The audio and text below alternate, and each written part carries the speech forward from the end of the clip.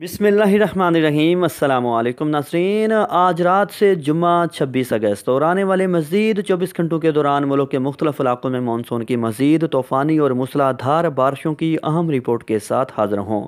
ताज़ा तरीन मौसमी सूरत हाल के मुताबिक तूफ़ानी बारिशों का फोकस इस वक्त सुबह बलोचिस्तान, खैबर पख्तनख्वा, मगरबी पंजाब और मुल्क के बालाई इलाकों की तरफ़ है। तहम अच्छी खबर यह है कि सुबह सिंध और सुबह पंजाब के ज़्यादातर मशरकी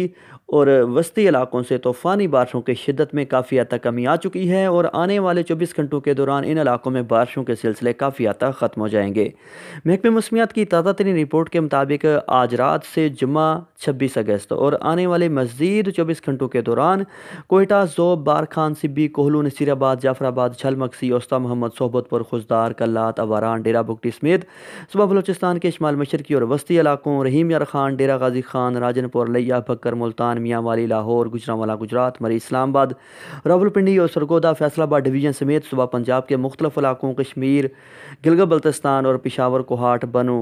सवात, डेरा इसमाइल ख़ान, टांक, लकी मरवस में सुबह खैबर पख्तूनख्वा के मुख्तलिफ़ इलाकों और दादू, जूही, सखर, लाड़काना जैकबाबा थरपारकर नवाब शाह हैदराबाद में सुबह सिंध के बाद इलाकों में भी गरज चमक और तेज़ हवाओं के साथ मजीद बारिश। और खसूस मुल्क के बालई, मगरबी इलाकों, बलोचिस्तान, खैबर पख्तनखा कश्मीर गिलगत बल्तिस्तान और सुबह पंजाब के बाद मगरबी इलाकों में तूफ़ानी बारिशों और मजीद सैलाबी सूरत का ख़तरा है।